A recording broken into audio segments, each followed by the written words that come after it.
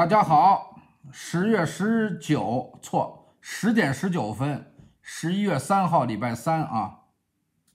我只住一间房，我们俩和老大一块住。六日的时候，老二回来了，老大自己出去。我以为他就跟同学在一块儿，因为有同学们去哪儿了。我后来才知道，你知道吗？在公园待一宿，公园的椅子上待一。大家好，我是北京陈姐，今天继续带您走胡同、看胡同，探访北京老百姓的生活。在胡同里遇到了一位老知青，我们来听听他的故事。您知道我这知青是怎么回事？我是从那边退休回来的，哎，你医疗这上班不管啊？，医疗不管，工资拿那边的工资。哦，知道吗？所以什么什么都跟北京人不一样。我虽然现在户口在北京，没有跟北京人的待遇一点都不一样。您现在那涨，工资的时候，他们涨二百，我也就涨一百。您那现在是是那边退的休，对，小区那边那边拿工资，那边看病，看病也得上那边看去啊。看病可以在这边看呀。对但是那报边报去销的水平是按那边报啊。你这北京还给你有时候给你开自费药，对，自己掏吧。糖尿病，他心脏不好，我们吧不看病，为什么？我攒着点那钱嘛，我把那钱都送医院去干嘛呀？我们挣钱那么低，我们俩都是那边退休的，哦，老头也是那边的。对我们是军工厂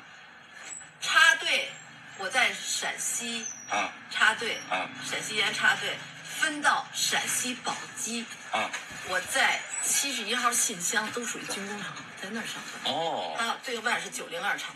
哦，走向社会了，统统筹啊，社会那什么，因为我们厂是宝鸡那边的三大支柱之一，烟厂、石油和我们九零二厂。嗯。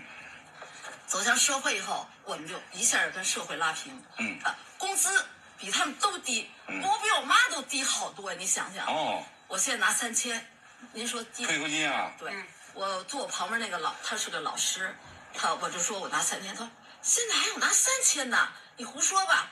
我说我就拿三千他拿七千多，嗯太少了，不要紧。连看病都要给我们报销啊，嗯，不报。哦，我们现在怎么办？那边交着保险，我们现在因为我是知青嘛，我们一直在斗争。我不知道你们知不知道，我们知青一直在斗争，你知道不参加。嗯斗争的结果什么？可以参加一老一小，嗯我又得交一份保险。我们俩呢，就是能不去看病就不去看病，好人挣这点辛苦真是钱，我都给他送到医院。我们俩现在就是锻炼，锻炼，锻炼。我们那老爷子锻炼可好，没有人不夸他，没有人不夸他。是吧？我也还行。嗯我们俩还有什么打工？我四十四岁退的休，哦，我打工打了四十多年，您说我辛苦不辛苦？您啊，对，我先是在那个国际展览中心嗯干了一段时间，嗯然后就到徐悲鸿中学干了十五年。干什么呀？打工能干什么？干传达室，哦，人家特别相信我，然后守着他们的大门。啊，真好。呃，然后那个那是这一个月一百块钱都不到，那会儿啊，啊对，哦我刚一去知道九九十块钱在我妈说句，十五年，你可别跟人说你挣九十，多丢人！你说你挣一百好不好？就可怜到那份儿。哎呦，真是我。就跟人说我挣一百多，嗯我不敢说我挣九十。嗯但是后来在那出来的时候挣了，也不到一千，反正是也是几百块钱。嗯十呃干了十五年。哦因为房子是公房嘛，人家说要给我装修，你赶快回来吧。嗯。我就只好把那边退了，我回来了。哦回来以后就我不是居委会，我我是积极分子啊。你应该看得出来，你呃还是先，那个大栅栏先天个人。应该是啊啊，我我那个我在居委会那个、跟着居委会干了好多事情。嗯真好后来我就到中国书店去打工，哦打扫卫生。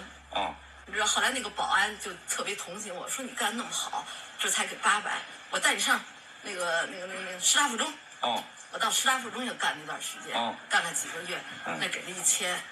俩孩子现在跟您一块住吗？呃，我要说都要掉眼泪的，您说能说吗？能说？我就想听您说这个。我有俩孩子，嗯然后老二工作单位可以住，嗯六日回来，老大工作单位不能住，所以平常呢，我们这现在是两间，我只住一间房，嗯我们俩和老大一块住。六日的时候，老二回来了，老大自己出去，我以为他就跟同学在一块儿，因为有同学们去哪儿了，我后来才知道，你知道吗？在公园待一宿，公园的椅子上待一宿，是吗？就这样，因为老二回来了，我现在还住我们不能住啊？，住不了啊。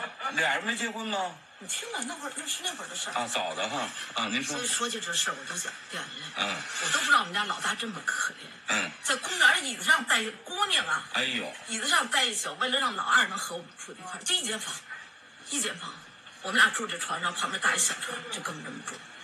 后来老二老大就觉得北京他待不了，回西安了。我们大妈这一代老知青人是祖国的建设者，十几岁离开故土，投身到我国的建设中，值得我们记住他们。感谢您的收听，我是北。